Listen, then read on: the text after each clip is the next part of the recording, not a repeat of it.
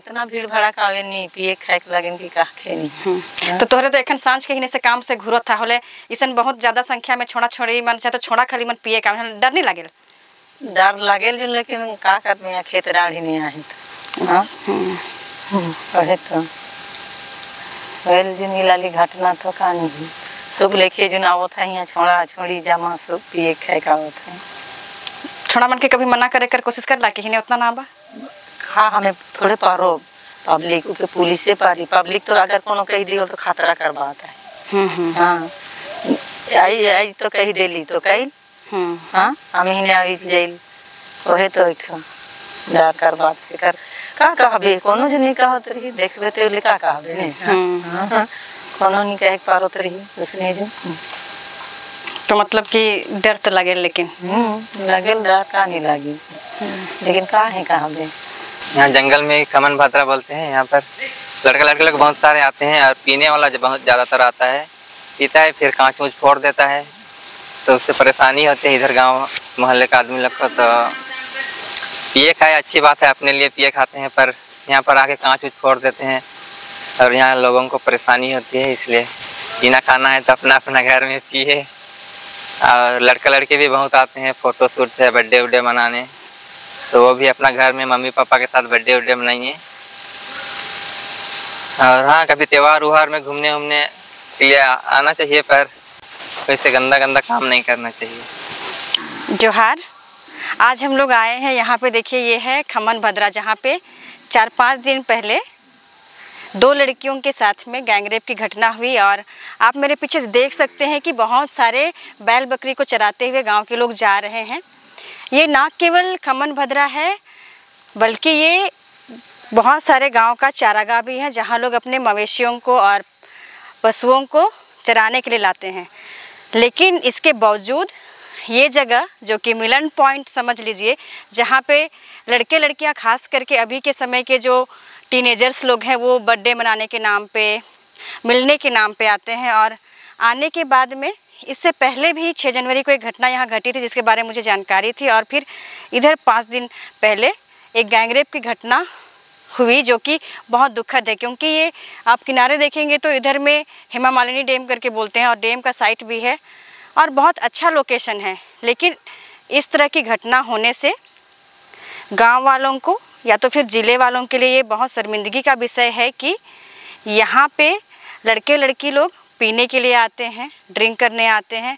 जैसे कि आपने सुना, जो यहाँ पे गाय चराने के लिए गाँव के लोग आए थे, उन्होंने भी अपना पॉइंट ऑफ़ व्यू बताया कि वो आते हैं यहाँ मस्ती करने के लिए, ठीक है, अपना इंजॉय करें, लेकिन कांच की बोतल फोड़ के जाते हैं और रात तक रहते हैं और जिसके फलस्वरूप घटनाएँ होती हैं तो सभी का मन आहत होता है और मन दुखी होता है। तो इस तरह से ये जो जगह है, इसको बचाना हम सबका काम है और कोशिश यही होनी चाहिए कि जो लड़के लड़कियाँ घर में बर्थडे बना सकते हैं उनको घर में माँ बाप के साथ ही मनाना चाहिए दोस्तों को भी घर में ही बुलाइए और इस तरह के एकांत स्थान में आने से असामाजिक तत्वों के द्वारा इस तरह का काम होने की संभावना बढ़ जाती है क्योंकि जब आप नशे में अनियंत्रित रहेंगे तो ज़रूर कुछ ना कुछ अनहोनी हो सकता है तो दादा रौरे हियाँ वन विभाग वाला में खमन भद्रा में काम करिल हाँ तो हियाँ कर माहौल ऐसन जे होलक घटना हम्म, हम्म। रेप कर घटना मन होलक हाँ। तो बहुत छोड़ा छोड़ी मन भी आवे निसन सुनाई देल। तो ये सब बात ठीक? सही बात कहन। सही बात है के यहाँ छोड़ा छोड़ी तो आबे करेन। हमें देखिल यहाँ काम करिल, हमें दिन भर यहाँ रहिल से ले देखिल दिन खन हो आवे और राइतो तक रही जाए ई तो आबे करेन और हमें तो केखो कोनो नहीं कही सकिल से ले केखो कोनो नहीं कहिल हमें, लेकिन देखिल हमें कि आवे यहाँ छोड़ा छोड़ी स्कूलिया मन हो कोई कोई मन स्कूल नहीं जाए हर ड्रेसे पिंध के यहाँ आके रही जाए दियो अपन जे लभर रहेल और सब गोइठ हम्म, हम्म, अपन जे करे से करें और चल जान हमें के कोनो निकल देखिल हमें लेकिन। हम्म, हम्म। तो ऐसन पुलिस ऐसन घूमे के लगिन आवेल? दिन में चाहे तो साँझ बेरा एको बेर? पुलिस वाला मन आवेन लेकिन कभी कभी माने हफ़्ता दुई हफ़्ता में एको दिन आवेन तो उमन तो आवेन और चल जाए लेकिन यहाँ तो आदमी मन हर समय रहेन हम्म। अब आते रहेन जाते रहेन अब का जन के देखे लेकिन बहुत आदमी बहुत छोड़ा छोड़ी कर यहाँ माने दारू पिए वाला और ई सब ई लड़का लड़की वाला मन कर यहाँ एक सौ ऐसा जगह है जो कि अपन इतमान बैठ के बातचीत करें और जे करे से करें और चल जाए। हमें तो देखिल लेकिन कोनो नहीं किहिल के खो हमें अच्छा। हम अपन काम से काम रखी हम्म हम्म हम्म। तो आइए आप लोग को दिखाते हैं कि ये खमन भद्रा कैसे है और कैसे मतलब कि अब गंदा कर दिया गया है दूषित हो रहा है। और किस तरह से यहाँ बियर के बॉटल्स पड़े हैं, बोतल पड़े हुए हैं सिगरेट के रैपर्स पड़े हुए हैं। लोग इधर एक बार देखिए देखिए कितने सारे बियर्स के बॉटल्स दारू के बॉटल्स और ये सब पड़ा हुआ है। जबकि ये बहुत खूबसूरत जगह है, लेकिन ये मतलब लड़के लड़कियों का जो अड्डा बन गया है, जिसकी वजह से इसकी खूबसूरती खत्म हो रही है। ये शाम का समय हो गया है। हम लोग जानबूझ के शाम के समय में भी यहाँ आए, ताकि आप लोग को दिखा सके कि उस दिन जो घटना हुई, वो शाम के समय हुई, और शाम के समय कितना सन्नाटा हो जाता है ये पूरा इलाका। इस पूरे एरिया में, इस भद्रा में कोई भी मतलब कि आपको पाँच, दस इंच भी ऐसा जगह नहीं मिलेगा, जहाँ पे बोतल, कांच के बोतल्स वो भी बियर्स की बोतल, शराब की बोतल कोल्ड ड्रिंक्स के बोतल, आइसक्रीम के रैपर्स वगैरह वगैरह पूरा बिखरा हुआ नहीं मिलेगा।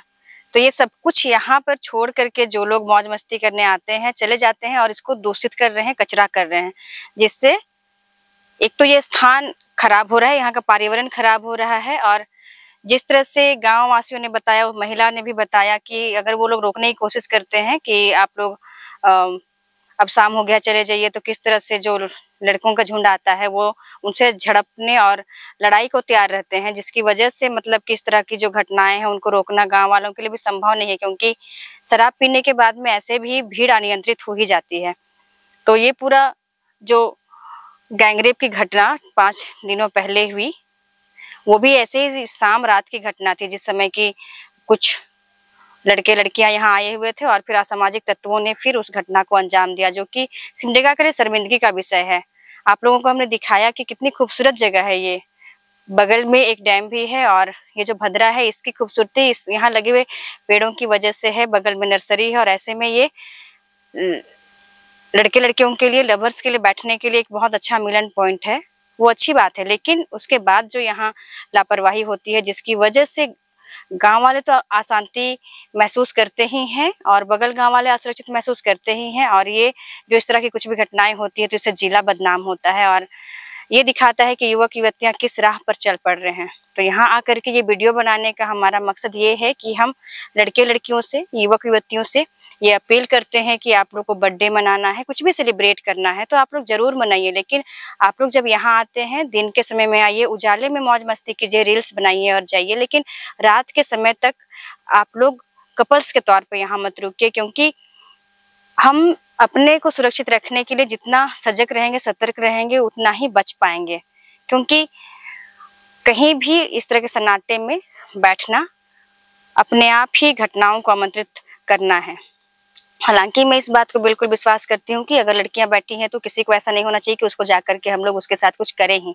लेकिन हमारा समाज अभी उस समय स्तर पर नहीं पहुँचा है कि वो लड़कियों को ले करके उस तरह का सोच रख सके। इसलिए ये अपील करते हैं कि जितने भी लड़के लड़कियाँ जो हाई स्कूल्स में पढ़ते हैं, जो प्लस टू में पढ़ते हैं, कॉलेजों में पढ़ते हैं, और इस तरह की मौज मस्ती करने के लिए यहाँ आते हैं, वो लोग ज़रूर सतर्क रहें। और ये मैं कहना चाहूँगी कि मनहूस जगह है। मैंने पहले भी बताया कि जनवरी में भी एक रेप की घटना यहाँ हो चुकी थी। इसकी जानकारी मुझे मिली थी और फिर ये जो गैंग रेप की घटना हुई, इसके अलावा भी और घटनाएँ होती हैं। कितनी लड़कियाँ सुबह यहाँ से उठ करके जाती हैं घटनाएँ रजिस्टर नहीं हो रही है। लेकिन अगर आप लोग अपने आप को सुरक्षित रखना चाहते हैं, इस जगह को खूबसूरत बनाए रखना चाहते हैं तो आप लोग खुद भी सही समय पर आइए और चले जाइए। और इसके अलावा जितने लड़के यहाँ आते हैं, मैं उनसे भी अपील करना चाहूँगी, आप लोग भी मतलब रात तक यहाँ मत घूमिए और यहाँ आने के बाद में किसी के साथ में वैसा कुछ भी हरकत मत कीजिए, जिससे कि ये जगह मनहूस हो जाए और इस जगह को लोग मतलब कि खराब जगह के रूप में कंसिडर करें क्योंकि ये शहर के बीच में एक अच्छा जगह है जहाँ लोग पिकनिक बनाने के लिए आ सकते हैं या फिर अपना मन में अगर शांति और प्रकृति को महसूस करना चाहते हैं तो आ सकते हैं। दीदी ये जो पूरा प्रकरण हुआ और जिसकी वजह से आपको अपने लड़के के चलते बहुत सामना करना पड़ा और मैं थाने में भी देख पाई कि आप बहुत परेशान रहे जितने भी लड़के लड़कियाँ वहाँ थे उनके माँ बाप बहुत परेशान रहे तो आप लड़के लड़कियों को कुछ कहना चाहेंगे उनके माँ बाप को कि अभी के समय में इस तरह से कुछ भी चीज़ों से बचने के लिए क्या करना चाहिए उनको? हम गार्जियन लोग को कुछ हो, क्या बोलेंगे? पता नहीं रहता है कि बच्चे कहाँ जा रहे हैं, नहीं जा रहे हैं। या तो कहीं हम बच्चों का ही कुछ मतलब हम गार्जियन का ही कुछ कमी होता है कि अपना, क्या बोलेंगे, बच्चों से उसका दिल नहीं जीत पाते हैं। या तो फिर दोस्त जैसे नहीं रह पाते हैं कि वो बच्चे लोग अपना आ, क्या बोलते हैं दिल के अंदर में जो रहता है वो गार्जियन को शेयर नहीं कर पाता है। तो हम गार्जियनों का फ़र्ज़ भी बनता है कि आ, हमारे बच्चे जो स्कूल जा रहे हैं तो कभी कभी हम लोग का फ़र्ज़ भी पड़ता है कि स्कूल जाएँ या तो जहाँ बच्चे जा रहे हैं उनका, अगर बच्चे स्कूल नहीं जा रहे हैं तो बच्चों का दोस्त से भी कांटेक्ट करके उसके बारे में जानकारी ले सकते हैं। प्लस मतलब अगर हमारे बच्चे स्कूल जा रहे हैं तो कभी कभी हम एक गार्जियन होने के नाते स्कूल भी आ सकते हैं कि मेरा बच्चा का सही अटेंडेंस स्कूल पे है या तो नहीं है, उसकी जानकारी भी ले सकते हैं। और अगर मेरे ख्याल से अभी का माहौल को देखते हुए ऐसा लगता है कि अगर मेरा बच्चा लड़का है तो अगर कोई लड़की से बात करता है या तो दोस्त है मेरा बच्चा का तो एक मैं हम गार्जियन भी बच्चा का दोस्त बन के, अगर मेरा बच्चा गार्जियन को डर भय रख के मतलब एक लड़की से अगर बाहर मिलने जाता है तो अगर हम दोस्त हैं, बच्चा का बन पाते हैं तो वो जो बाहर मिलने जाता है तो वो घर पे भी आके बात कर सकते हैं, मिल सकते हैं, अगर हम बच्चा का दोस्त बन पाते हैं तो। और बाकी गार्जियनों से बस यही निवेदन करूँगी कि अपने बच्चा को मतलब क्या बोलते हैं कहाँ जा रहा है क्या कर रहा है वो जानकारी रखें ताकि जो मेरे साथ में अभी हो रहा है वो आ, आपके साथ में ना हो। इसलिए बच, सबसे पहले बच्चों का क्या दिल में है उसको जानने का गार्जियन का भी फ़र्ज़ है। और बच्चों को भी मतलब कहीं ना कहीं शायद मतलब गार्जियन का मतलब कमी की वजह बोलिए या तो फिर बच्चों का नादानी बोलिए। दोनों अगर बच्चा और गार्जियन एक एक दोस्त बन पाते हैं तो फिर आगे मतलब ऐसा जो अनहोनी अचानक हो जाता है कहीं पे, वो नहीं हो पाएगा। इसलिए अपने बच्चों को मतलब ध्यान दीजिए सभी गार्जियन और मतलब सही जगह, सही टाइम देख के अपना बच्चा लोग से बात कीजिए। और बच्चा क्या चाहता है, नहीं चाहता है, उसका जानकारी लीजिए और अपना बच्चों का क्या बोलते हैं, ख्याल रखिए बस, इतना ही, धन्यवाद। खमन भद्रा कांड में जो लड़कियाँ बुरी तरह से गैंगरेप का शिकार हुई, उनके भाई से हम लोग बात करने के लिए आए हैं। उनमें से एक नाबालिग बच्ची थी और ऐसे होने से परिवार को क्या प्रभाव पड़ता है और परिवार को किस तरह के परिस्थितियों से गुजरना पड़ता है, उसके बारे आप लोग को हम लोग बताते हैं। और यहाँ के मन बहुत बोझल है, क्योंकि इस परिवार के साथ जो हुआ है, और लड़कियाँ अक्सर घर से बाहर जब जाती हैं तो परिवार में बता कर नहीं जाती हैं। अपने भाइयों को भी बता कर नहीं जाती हैं माँ बाप को बता कर नहीं जाती हैं। तो आपसे पूछना चाहेंगे कि आपको इस पूरी घटना की जानकारी कैसे मिली और कब मिली?